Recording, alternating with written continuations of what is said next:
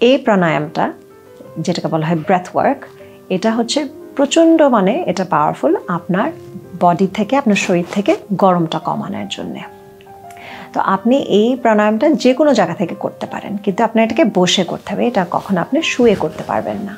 তো আপনি বসে গেলেন কোনো এক জায়গায়, বসে আপনি মেরুদণ্ডটাকে সোজা করে নিয়ে বসবেন, বসে কাঁধটাকে আপনি রিল্যাক্স করবেন। করে আপনি জিব্বাটাকে বের করে নিয়ে আসবেন। এনে জিব্বার দু সাইডটাকে আপনি কার্ল করে দিবেন এভাবে করে।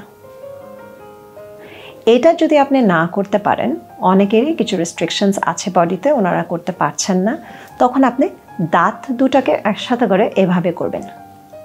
ওটাকে বলা হয় শীতকারি। আর আগেরটাকে এটাকে বলা হয় শীতলি। যেভাবে করা হয় হচ্ছে এভাবে করে।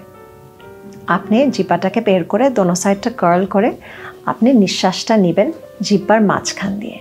নিয়ে আপনি নাক দিয়ে নিঃশ্বাসটা ফেলে দিবেন এভাবে করে।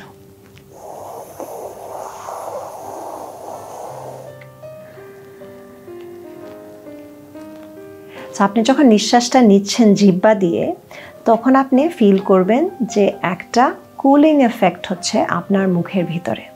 তা ঠান্ডা একটা হাওয়ার মতো যাচ্ছে আপনার সারা শরীরের ভিতরে। এটা আপনি নিজেই বানাচ্ছেন আপনার জিব্বাটাকে দিয়ে। তো আমরা এটা পাঁচবার প্র্যাকটিস করি। আর এগেন আপনার যদি জিব্বা যদি আপনার মুখ থেকে না বের হয়ে আসে খুব সহজে, তাহলে আপনি দাঁতের ভিতর থেকে এটা এভাবে করে করতে পারেন শীতকারী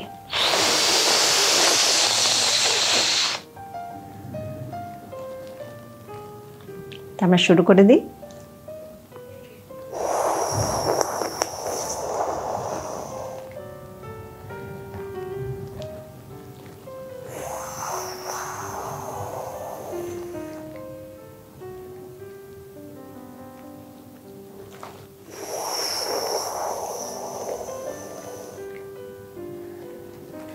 আর আমরা সেকেন্ডটাও আবার একটু প্র্যাকটিস করি, যেটা শীতকারী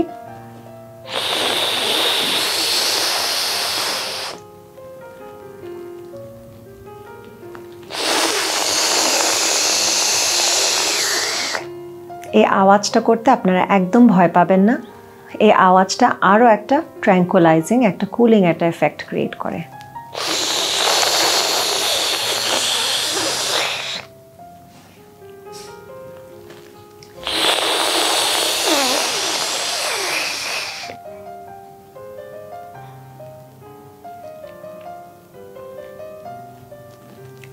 এই প্র্যাকটিসটা আপনারা নিয়মিত আপনারা দশবার করে করলে আপনি এই একটা শিফট আপনি ফিল করবেন আপনার শরীরে আর আপনার মনেও। মনটাও শান্তি লাগবে, আপনার শরীরটাও ঠান্ডা হয়ে যাবে।